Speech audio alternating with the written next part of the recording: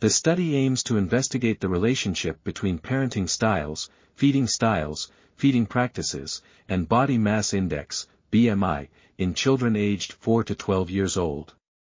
A systematic review was conducted using sensitive search strategies on four databases, Medline, Ovid, PsycINFO, Web of Science, and Food Science and Technology Abstracts. The search yielded 31 relevant quantitative peer-reviewed papers meeting all inclusion criteria. Longitudinal studies showed that uninvolved, indulgent, or highly protective parenting was associated with higher child BMI, while authoritative parenting was associated with a healthy BMI.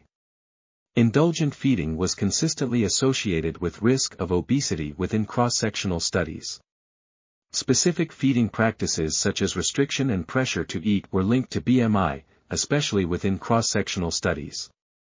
However, since obesity emerges over time, longitudinal studies that take account of child appetite and temperament are necessary to understand the association between parenting style, feeding style, specific feeding practices, and child obesity.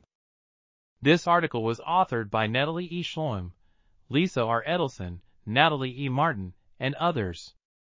We are RTCL.TV, links in the description below.